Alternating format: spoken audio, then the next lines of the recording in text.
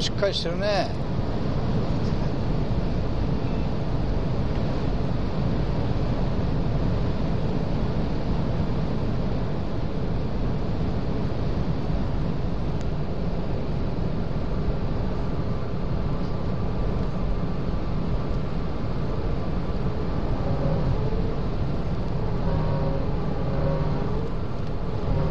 デミオベースとは思えないな。えー第一印象は、まあ、B セグメントのデミオベースで作られた SUV ではなくもっとこう CX5 に近い CX4 ぐらいの感じのあの完成度っていうかこう B セグとはちょっと思えない感じですね。まあ、ディーゼルなんでなんでどうしてもトルクはあるんですけどやっぱりスピードに対しては出力の関係で、えーちょっと高速の伸びみたいなものはガソリンエンジンほどのパワーは持ってないですからトルク感はあるんですけどディーゼルだというふうに割り切っていかないといけないと思います。まあ、でも実際この CX3 の使い勝手まあ、これを使うような人たちのライフスタイルを考えれば、まあ、十分なトルク特性は持ってると思いますただ残念なのがあの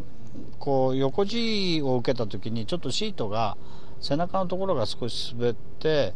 えー右の背中のところにこうシートのアンパンのところがちょっと当たったりとか、まあ、もう少しシートのホールド感というのが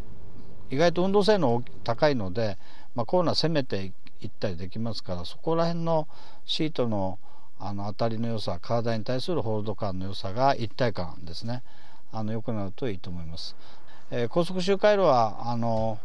まあバンク下をかなりのスピードで、えーフロントタイヤスキーローンが出るぐらいまで攻めていくことはできますけど、まあ、でもこのその時のステアリングの特性がなんかこう頼りない感じとかないので意外としっかりとあの手応えが出てるのでその辺はこのクラスの日本車としてはまあゴルフと同じような感じで走れたなっていうのが印象ですね。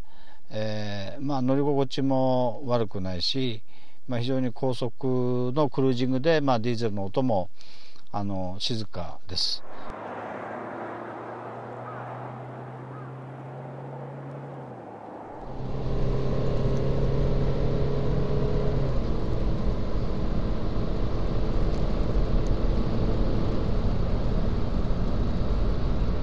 あの100キロ以上の加速性能があの、まあ、45ってこう細かいギアでこうあの刻んでいけるので、えー高速性能はやはりミニの方が、まあ、2リッターの排気量もあって、えー上の伸びはいいかなっていう感じがしますね、まあ、しかしハンドル切った瞬間はミニなんですね。でアクセル踏むとディーゼル車なのでミニのキャラクターとディーゼルのキャラクターがなんか合わないんじゃないかなっていう感じがこの車に入れるディーゼルだったらもうちょっとあのワクワクドキドキするようなエンジンにしした方がミニの